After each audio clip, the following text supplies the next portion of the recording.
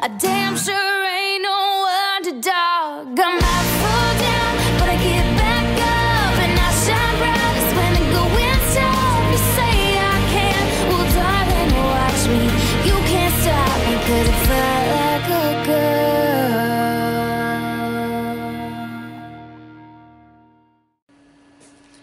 Hey guys, so if you can't tell, I have been readmitted to the hospital for round two of chemo. So the last video in the vlog was me getting ready to be admitted for the first time. And I'll be honest, the first one was really, really hard. So I didn't really have a lot of energy to vlog it. So we're just gonna pick up right here at round two. Um, I'm gonna talk more about kind of how the rounds work in chemo and stuff, but today I wanted to touch on the topic of hair because clearly I don't have any anymore, um, which is sucks. But um, so I'm gonna talk about the first time that I had to shave my head when I was originally treated, and this time around because they were two very different experiences. So the first time that we did chemo, I knew I was gonna lose my hair. It was inevitable. There was no stopping it. It was gonna happen. I dreaded that day so much. The anticipation kind of killed me and I'll never forget the day that it started falling out. I was three weeks into chemo and it was a Monday morning. I was getting ready to go draw my blood for my chemo the next day. When I got up that morning, you know, I get up and kind of brush it through and I went and had breakfast and a few hours later I got up to go get ready to go to the hospital to get my blood drawn. Thank God my mom works from home because I remember I started brushing my hair to start straightening it and it just like I mean it just cascaded off my shoulders like running water like it was just so fast every every stroke that my hair my mom came heard me crying and when she came in would catch the clumps like mid-air and it was just handfuls and I will never forget, it still kind of makes me emotional. Um, I'll never forget that day. And it was so hard because I then had to go out in public. Um, and then that day, my brother-in-law shaved his head for me because we were going to be shaving my head soon. So of course, you know, I get a picture of that in public and I just start bawling. Um, so the first time that I shaved my head was the most traumatizing thing I've experienced, I think. And I want to talk a lot about how to kind of react to that as an outside person because so many people say it's just hair, you're beautiful with or without, but that doesn't really help. And I know that everybody is just trying to, but like you know, I mean if I had just shaved my head for fun, everyone that would have just thought I was a crazy person. No one would be saying, oh, you bald is beautiful. Like they would have said, what were you thinking? As a bystander, at least in my situation, I know some people probably does help them. It might make them feel better. For me, it was hard hearing all of that. I would much rather hear that it just sucks, that they feel sorry, that they can't believe I'm going through this, that I shouldn't have to do something like that. Because I know that's what they really want to say, but they think that it's going to hurt my feelings. And it's not, because it does suck, and I shouldn't have to be going through this as a 22 year old, or 21 at that time. It's okay to recognize that. It's okay to recognize how much all of this sucks.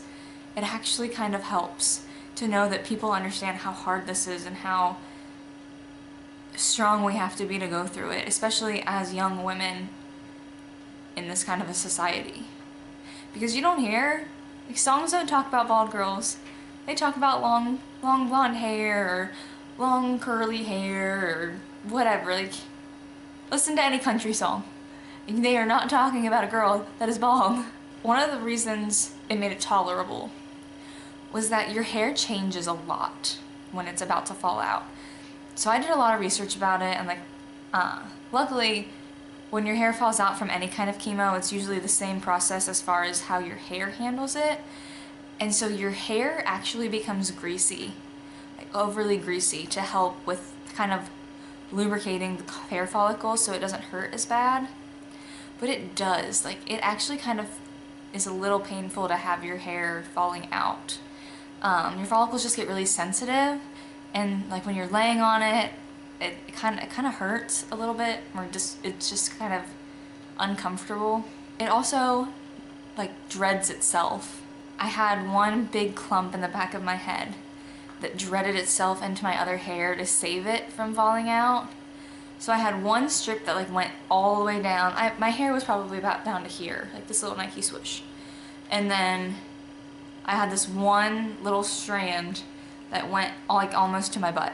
The last day that I had hair, it was just like ridiculous. So I threw it up in a ponytail and like had to pin it in there. And so that night, my hairdresser came and a few friends came and all of my guy friends shaved their head too. But it was, it was just terrible. My eyes, I had my eyes closed the entire time. My mom was sitting there holding my hand. It was the hardest thing I've had to do to this day. So this time around was a little different. So you have a lot of rules when you do a bone marrow transplant. Well, technically it's a stem cell transplant, but I'm on the bone marrow transplant floor. And we'll talk more about the regulations and kind of the rules I have to follow, but I'm going to touch on one because it's really pertinent. So I have a PICC line right here, and that is pretty much an all-time IV. So I have this two kind of, they're called lumen that hang out of your chest right here. And that's where you get your chemo in. But it's, because it's stitched into my chest, has a really high risk of infection. So I can only change this dressing once a week. So you're only allowed to take a full shower once a week. I can't finally convince the nurses to let me go four days. So for four days I couldn't wash my hair. So not only was it greasy from the chemo because it was trying to help it fall out, but then it was even more greasy because I couldn't wash it. it I, I'm laying down most of the time because I'm so tired it was just, it was matted and gross and it didn't even feel like hair. One night, just real low key, my nurses came in and they shaved it for me with my parents here. And I didn't cry this time and I think it was because the anticipation kind of killed me. Knowing that it's gonna fall out again. And my hair was just finally getting to a length where I felt pretty. It was down to my shoulders and I could straighten it and curl it and make it look wavy. Like I could do a lot with it and I felt so pretty again. And I would take selfies and I hadn't taken selfies in a long time. It just like, this time it kind of was a need. Like I needed to do this because I'm uncomfortable and I just want to get it over with. So we were in my room and they had the hospital provided clippers and we shaved it and it was done and over with and now I've got my white cap that I always wear and it sucks because I look like a boy. It's fine though, but it really isn't. So that's been my experience. Like I said, this is a blog that I want to help you guys with. I want to help other young survivors or young cancer fighters, especially women, kind of understand what's going to happen and maybe provide a little bit of insight because I didn't get a lot of that. I have such a rare cancer and I'm doing rare treatments that you just don't know. You have no idea. Like all you hear is, well, this is how people normally respond, but you're young and healthy and strong. It's like, yeah, I'm young and healthy and strong besides the fact that I've got cancer. So you guys, like if you have any questions, please drop them in the comments below. Also, go like our Facebook page. Um, if you want to follow me on Instagram, I post a lot about kind of cancer and my journey and all of that. So I'll have all that in the description, or yeah, in the description below. And like I said, if you have any questions, please feel free to ask them. I need video ideas anyway, and I want to help anyone that I can in this process. So I will see y'all later.